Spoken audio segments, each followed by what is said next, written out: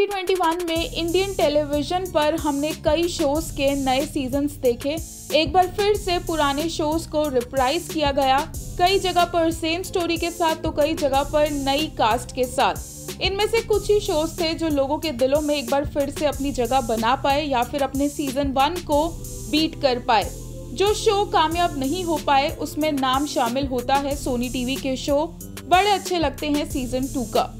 बड़े अच्छे लगते हैं। अगस्त में ऑन एयर गया था, जिसके बाद इस शो को थोड़े टाइम के लिए काफ़ी ज़्यादा प्यार मिला। लोगों को राम और प्रिया यानी कि नकुल मेहता और दिशा परमार की जोड़ी एक बार फिर से स्क्रीन पर काफ़ी ज़्यादा अच्छी लगी। लेकिन धीरे धीरे शो की टीआरपी कम होती गई। प्रिया और राम की वही सेम स्टोरी देख लोग उतने ज़्यादा इम्प्रेस्ड नहीं हुए। जिसके बाद मेकर्स को एक डिफ़िकल्ट डिसीज़न लेना पड़ा। बड़े अच्छे लगते हैं सीज़न टू जल्द ही ऑफ़ एयर जाने वाला है। हालाँकि जो शो के लॉयल फैंस हैं, उनके लिए ये काफ़ी ज़्यादा शॉकिंग खबर है।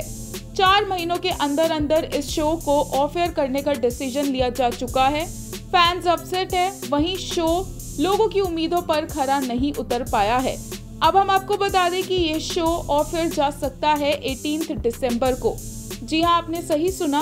बस कुछ ही दिन में शो की स्टोरी को जल्दी जल्दी रैप अप किया जाएगा, जिसके बाद ये शो सिर्फ़ चार महीने में सभी को अलविदा कहेगा।